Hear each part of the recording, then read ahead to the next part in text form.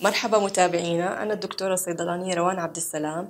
رح أحكي معكم هلا موضوع مهم عن آه، فوائد الكورتيزون وأنواعه. طبعا الكورتيزون هو موجود بجسمنا بشكل طبيعي تفرزه الغدة الجار كلوية أو الكظرية.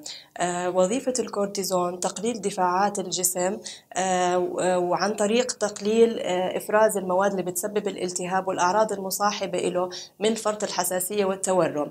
طبعا الكورتيزون مفيد جدا لكثير من الحالات المستعصية اللي يصعب علاجها من غير آه، استخدامه. آه، فهو مفيد في أمراض السرطانات كما أنه مفيد في علاج أمراض العين كما أنه مفيد كمان في علاج آه، الحساسية الجهاز التنفسي. وهو كمان مفيد في أمراض ال autoimmune diseases اللي هي أمراض المناعة وأمراض الدم. بالإضافة متابعينا إلى الأمراض المتعلقة باختلال الهرمونات. وهلأ رح نحكي عن أشكال الكورتيزون وأنواعه. الكورتيزون بيجي عنا على ثلاث أشكال. آه، في عنا الشكل الموضعي اللي هو بيجي آه، أو ال topical اللي هو على شكل آه، كريم أو مرهم يستخدم لعلاج الأمراض الجلدية. وبيجي عنا كمان على شكل حبوب الكورتيزون أو وحقن الكورتيزون اللي بتستخدم فقط للضرورة القصوى نظرا لأضرارها الجانبية. وبيجي عنا كمان على شكل بخاخات الاستنشاق اللي هي للفم أو الأنف.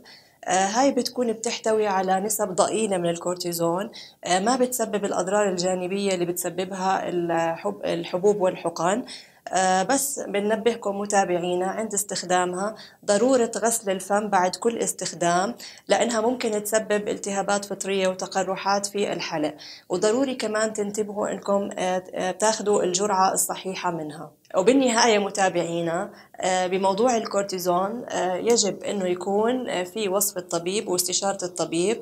ما بيصير تاخذوا الكورتيزون من تلقاء أنفسكم نظرا للأضرار الجانبية اللي له كمان بهذا الموضوع يجب أنه ما توقفوا الكورتيزون من تلقاء أنفسكم.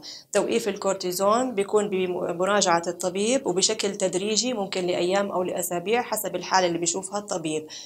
كمان في حال إنه آه زرتوا الصيدلاني وكنتوا بدكم تاخذوا أي أدوية ثانية يجب إبلاغ الصيدلاني بإنكم بتاخذوا أدوية كورتيزون لأنه إلها تفاعلات دوائية مع كثير من الأدوية. وزي وزي شيء من كل شيء.